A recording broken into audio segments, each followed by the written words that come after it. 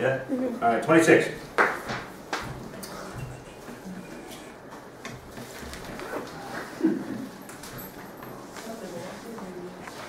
For the corners of the image of the point negative 412 under the dilation with a scale factor of 4.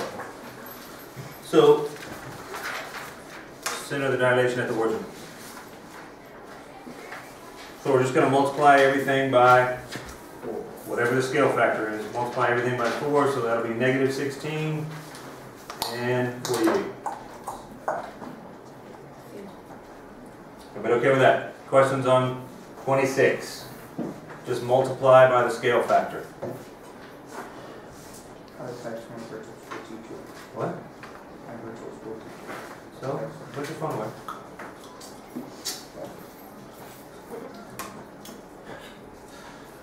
What is the measure of P?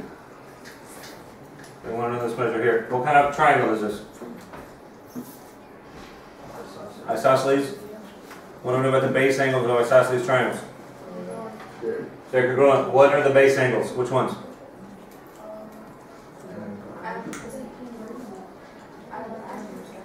Miss Ray, you have a question? Denise, you have a question? Okay, well, don't talk. Unless you have a question. Okay. What are the base angles of this isosceles triangle? M and N, these are the two base angles. So this one's also 66. Remember, the base angles are the ones opposite the congruent sides. So how are we going to find that third angle?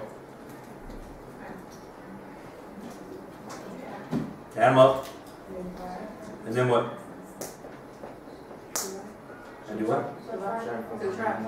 From 180. So 66 and 66 is 132?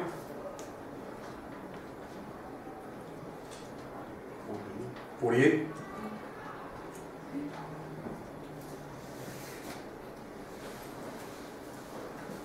Twenty-eight. To locate the blank of a triangle, you can construct the medians. I'll make y'all make a chart for this. Anybody remember? If you do the medians, the point of concurrency is the centroid. Good. Some of you need to go back and review that chart, huh? Questions on 29 or 28? All right, 29. A, E, B, F, and DC are medians. So G is a centroid. We just talked about that. Um, GF, this is the short side, is 3. What is GB? What's the long side? 6. Double it, right? Yep. Good.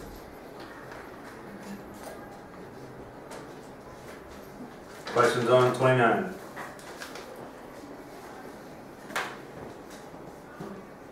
All right, last one, 30. Triangle has angles A, B, and C uh, that measure 50, 60, and 70 respectively. So A is 50, C is 60 degrees, and whoops, 60 degrees here, and C is 70 degrees.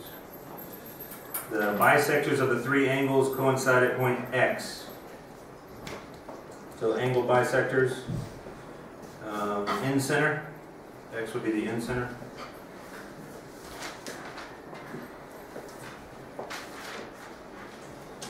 The three obtuse angles formed by the interior of the triangle, these three here, have the following angle measures except.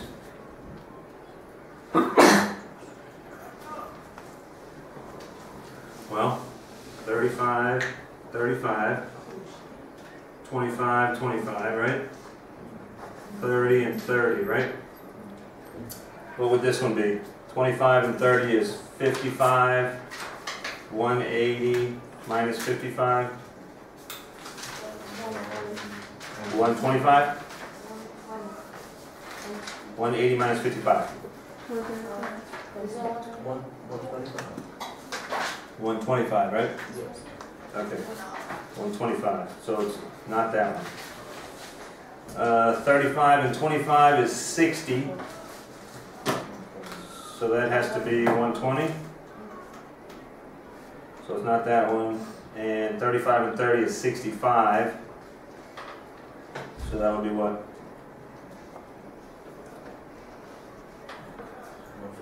one eighty minus sixty-five, one fifteen? So it's not that one, so it's gotta be D.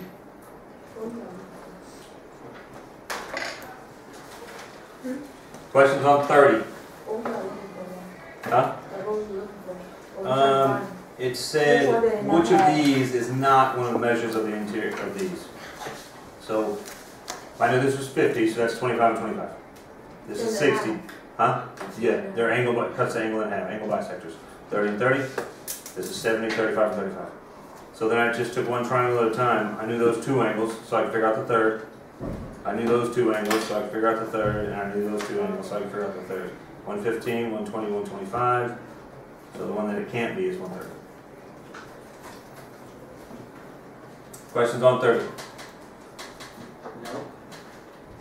Okay, go ahead, and stop.